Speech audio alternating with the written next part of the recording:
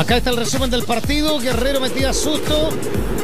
Cuando amanecía recién en encuentro.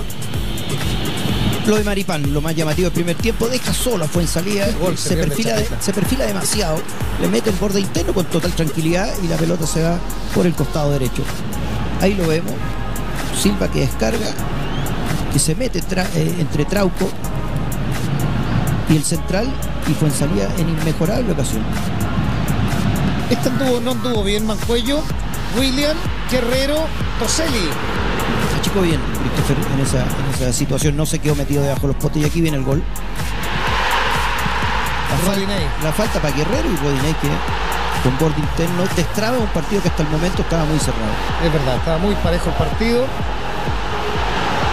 Y uno dice, lo conversamos con Juvenal antes del partido, no tan solo decíamos, eh, Flamengo tiene a Guerrero, tiene un rapidísimo Everton, tiene un Gabriel, y ni Gabriel ni Everton jugaron un gran encuentro. O sea, Guerrero se llevó todas las loas, todos los aplausos, porque estuvo todas.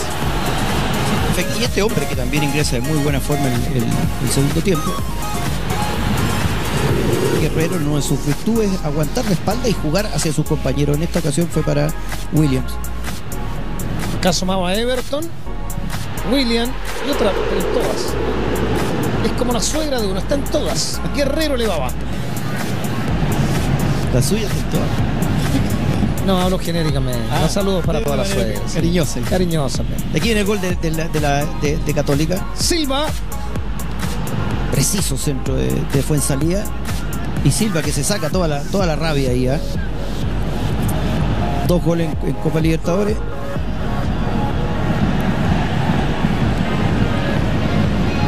En los momentos que, que la, Católica jugaba mejor, empata el partido y jugaba mejor. había cierta respuesta desde lo anímico hacia lo futbolístico que, que nos hizo pensar que el partido podía cargarse para el equipo cruzado.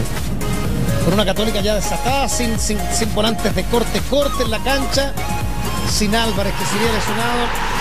No, se le puede jugar no, se- no le puedes entregar algún espacio por más mínimo que sea a un animal del área como, como Guerrero en el desequilibrio en los 28 del segundo tiempo. Pues porque Pa- Parot, Parot eh, eh, se, se enfrasca en el brazo a brazo con Guerrero y él lo, de- lo, lo saca. Lo saca en la, en la medida precisa para poder percutar y, y generar el 2-1. Y este, de, de- de pronto el fútbol pasaba de justicia y este quizás te- fue muy excesivo.